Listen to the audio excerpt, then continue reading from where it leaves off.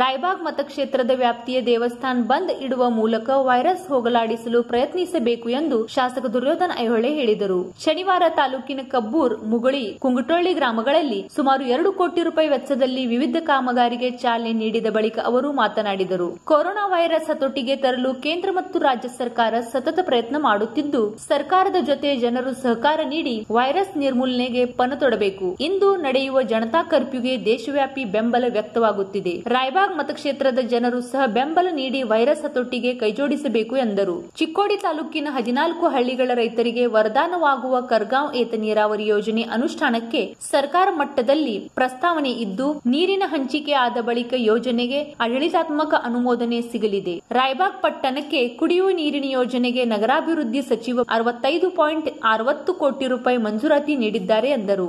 ಈ ಕೆನಾಲ್ ಮೇಲದ ರಸ್ತೆ ಇದು ಭಾಳ ದಿನದ ಈ ಹಿರಿಯರ ಬೇಡಿಕೆ ಇತ್ತು. ಮನೆ ಕಬ್ಬು ಹೋಗಲಿಲ್ಲ, ಆಗ ನನ್ನ ಶಾಸಕರ ನಿಧಿ ಒಳಗೆ ಒಂದು ನಾಲ್ಕು ಲಕ್ಷ ರೂಪಾಯಿ ಕ ಸ್ವಲ್ಪ ಮುರುಮ್ ಕಡ್ದು ಈ ಹಿರಿಯರ ಒಂದು ಬೇಡಿಕೆಗೆ ತಾತ್ಪೂರ್ತಿಕ ಮಾಡಿದ್ದೆವು ಅವ್ರದ್ದು ಏನು ಆಸೆ ಇತ್ತಲ್ಲ, ನಂದು ಆಸೆ ಇತ್ತು, ಡಾಂಬರಿ ಮಾಡಿಕೊಡ್ಬೇಕಂತೇಳಿ ಇವತ್ತು ಅದು ನೆರವೇರಿಸಿದೆವು ಅವ್ರ ಆಸೆ, ನನ್ನ ಆಸೆ. ಅದಕ್ಕೆ ಇನ್ನೂ ಒಂದು ಸ್ವಲ್ಪ ಕೂಡಾಕ್ ಅಲ್ಲಿ ರಸ್ತೆಗೆ ಕೂಡಲಿಕ್ಕೆ ಚಿಕ್ಕೋಡಿ ರಸ್ತೆ ಕೂಡಕ್ಕೆ ಒಂದು ಅರ್ಧ ಕಿಲೋಮೀಟ್ರ್ ಉಳಿತೈತಿ. ಅದನ್ನೂ ಕೂಡ ನಾ ಜೀವನದಾಗ ಮತ್ತೆ ಅನುದಾನ ತಂದು, ಒಟ್ಟ ಪೂರ್ತಿ ಅದನ್ನು ಮುಗಿಸ್ಕೊಡ್ತಾನತಿ ಈ ಸಂದರ್ಭದಲ್ಲಿ ಎಲ್ಲರಿಗೆ ಹೇಳಲಿಕ್ಕೆ ಇಚ್ಛಪಟ್ಟ. ಇದೇ ಥರನಾಗ ನಮ್ಮ ಮೇಲೆ ನಿಮ್ಮ ಎಲ್ಲರದ್ದು ಪ್ರೀತಿ, ವಿಶ್ವಾಸ ಇರಲಿ. ನಿಮ್ಮ ಮೇಲೆ ನಮ್ಮದು ಇರಲಿ ಅಂತ ಭಗವಂತನಲ್ಲಿ ಬೇಡ್ಕೊಂಡ. ಈಗ ನಮ್ಮ ಕರಗಾವಿ ಏತ ನೀರಾವರಿನೂ ಕೂಡ ನಾಲ್ಕುನೂರು ಕೋಟಿ ರೂಪಾಯಿದು ನಾವೀಗ ಅಂದಾಜು ಪತ್ರಿಕೆ ಈಗ ಹೋದ ವರ್ಷ ಮಾಡಿಸಿದ್ದೀವಿ, ಅದನ್ನು ಕೊಟ್ಟಿದ್ದೀವಿ, ಅದಕ್ಕೆ ಮಂಜೂರಿ ಕೊಟ್ಟಿದ್ದಾರೆ. ಆದ್ರೆ ಹೆಚ್ಚಾದ್ರೂ ಕೊಡ್ತೇವೆ ಅಂತ ಭರವಸೆ ಕೊಟ್ಟಿದ್ದಾರೆ.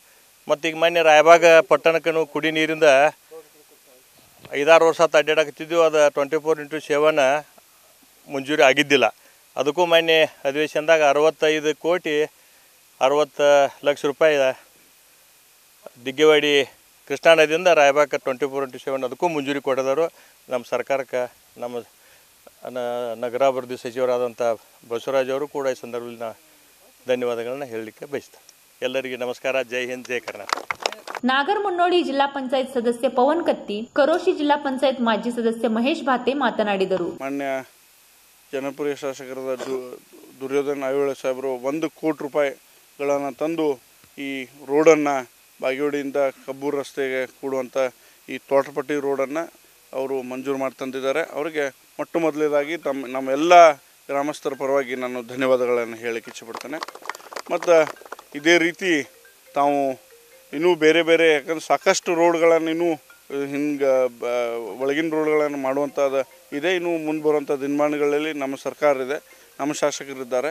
ಅದಕ್ಕೆ ಮುಂದೆ ಬರುವಂಥ ದಿನಮಾನಗಳಲ್ಲಿ ನಾವು, ನಾನು ಆಗಲಿ, ಶಾಸಕರಾಗಲಿ ನಾವೆಲ್ಲರೂ ಕೂಡಿ ಇನ್ನೂ ಈ ಕ್ಷೇತ್ರ ತುಂಬ ರೋಡ್ಗಳಾಗಲಿ, ನೀರು ಕುಡಿಯುವ ನೀರಿನ ಆಗಲಿ, ಅಥವಾ ಬೇರೆ ಬೇರೆ ಯೋಜನೆಗಳನ್ನು ತಂದು ಈ ಭಾಗಕ್ಕೆ ಒಳ್ಳೆಯದನ್ನು ಮಾಡುವಂಥ ಒಂದು ಪ್ರಾಮಾಣಿಕ ಪ್ರಯತ್ನವನ್ನು ನಾವು ಮಾಡ್ತೇವೆ ಅಂತ ಹೇಳಿ ನನಗೆ ಎರಡು ಕೋಟಿ ರೂಪಾಯಿ ಅನುದಾನವನ್ನು ಈ ಕಡೆ ತಂದು S C P T S P ಅಡಿಯಲ್ಲಿ ಈಗಾಗಲೇ ಕಬ್ಬೂರದಲ್ಲಿ ಒಂದು ಕೋಟಿ ರೂಪಾಯಿ ಅನುದಾನದಲ್ಲಿ ಅಲ್ಲಿ ಪೂಜೆಯನ್ನು ಮಾಡಿ, ಅದರ ನಂತರ ನಾಗರ ಮುನ್ನೋಳಿಯಲ್ಲಿ ಇಪ್ಪತ್ತೈದು ಲಕ್ಷ ರೂಪಾಯಿ, ಕುಂಟೋಳಿಯಲ್ಲಿ, ಕರೋಶಿಯಲ್ಲಿ ಮತ್ತು ಮುಗುಳಿಯಲ್ಲಿ ಈ ನಾಲ್ಕು ಗ್ರಾಮಗಳಲ್ಲಿ ಕೂಡಿ ಒಂದು ಕೋಟಿ ರೂಪಾಯಿ ಅನುದಾನ ಪೂಜೆಯನ್ನು ಈಗಾಗಲೇ ಅವ್ ನಾಲ್ಕು ಕಡೆ ಮಾಡಿದ್ದಾರೆ ಇನ್ನು ಮುಗುಳಿಯಲ್ಲಿ ಇನ್ನು ಮಾಡಬೇಕು.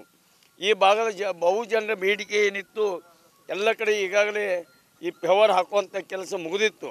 ಇನ್ನು S C T S B ಅಡಿಯಲ್ಲಿ ಈ ಗ್ರಾಮ, ಗ್ರಾಮದಲ್ಲಿ ಎಲ್ಲೆಲ್ಲಿ ಉಳಿದಾವ ಆ ಏರಿಯಾಗಳನ್ನು ತೊಗೊಂಡು ಸಂಪೂರ್ಣ ಸ್ವಚ್ಛತೆಯನ್ನಾಗಿ ಮಾಡಲಿಕ್ಕೆ ಈ ಭಾಗದ ಶಾಸಕರು ಮಾಡಿದ್ದಾರೆ. ಮಂಗಳವಾರ ಸಂತೆಯನ್ನು ಸಹಿತ ಬಂದ್ ಮಾಡುವಂಥ ಯೋಚನೆ ಗ್ರಾಮ ಪಂಚಾಯತಿಯವರು ಈಗಾಗಲೇ ನೋಟಿಸ್ ಕೊಟ್ಟಿದ್ದಾರೆ. ಅದರ ಜೊತೆಗೆ ಅಮಾವಾಸ್ಯೆಯನ್ನು ಸಹಿತ ನಾವು ಬಂದ್ ಮಾಡ್ರಿ ಅಂತ ಹೇಳಿದ್ದೀವಿ ಆ ಜನರಿಗೆ ಸಹಿತ ಇದು ಮೆಸೇಜ್ ಹೋಗಬೇಕು. ಮಾಧ್ಯಮದ ಮುಖಾಂತರ ಮೆಸೇಜ್ ಹೋಗ್ತದೆ ಯಾಕಂದ್ರೆ ಇಲ್ಲಿ ಮಹಾರಾಷ್ಟ್ರ, ಗೋವಾ ಆಂಧ್ರ ಪ್ರದೇಶ ಬಿಜಾಪುರ ಈ ಕಡೆಯಿಂದ ಜನ ಬರ್ತಾರೆ.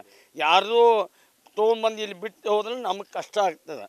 ದಯವಿಟ್ಟು ಯಾರೂ ನಾಳೆ ಅಮಾವಾಸ್ಯೆಗೆ ಅಥವಾ ಮಂಗಳವಾರ ಸಂತಿಗೆ ಬರಬಾರ್ದು ಅನ್ನುವಂಥ ಒಂದು ಮಾತನ್ನು ವಿನಂತಿ ಪೂರ್ವಕವಾಗಿ ನಾನು ಹೇಳ ಬಯಸ್ತೇನೆ ಈ ಸಂದರ್ಭದಲ್ಲಿ ಸುರೇಶ್ ಬೆಲ್ಲರ್ ವಿಜಯ್ ಕೋಟಿವಾಲೆ ನಿಂಗಪ್ಪ ಕುರುಬರ ಮಹಾಲಿಂಗ ಹಂಜೆ ಸದಾಶಿವ ಘೋರ್ಪಡೆ ಕರೋಶಿ ಗ್ರಾಮ ಪಂಚಾಯತ್ ಅಧ್ಯಕ್ಷ ಸಂಜು ಕಾಂಬಳೆ ಅಣ್ಣಾಸಾಹೇಬ್ ಖೇಮ್ಲಾಪುರೆ ಸಂಜು ಪಾಟೀಲ್ ಶಿವರಾಯ್ ಕಮ್ತೆ ಸಂತೋಷ್ ಕಮ್ತೆ ಮುಂತಾದವರು ಇದ್ದರು